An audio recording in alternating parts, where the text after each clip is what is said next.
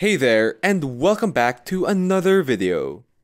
For today, I'll show you guys how I like to download bulk AI art images from Leonardo AI, an amazing AI image generative platform.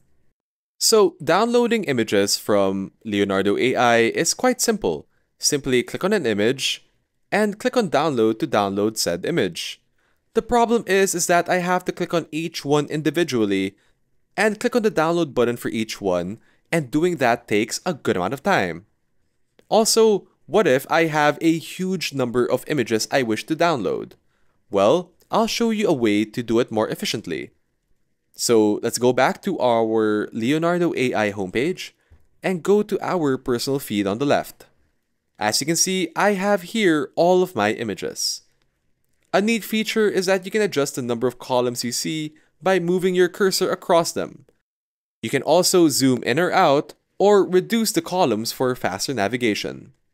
So if you look here, there is a select images button right there.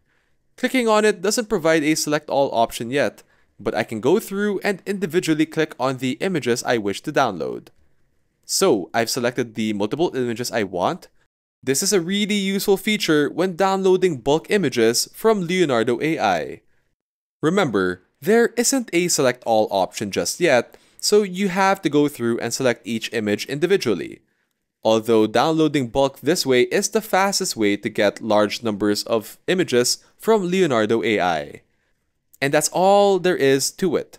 If you learned anything new or you enjoyed this type of content, feel free to like this video and subscribe to the channel. Thank you so much for watching, and we'll see you guys in the next one.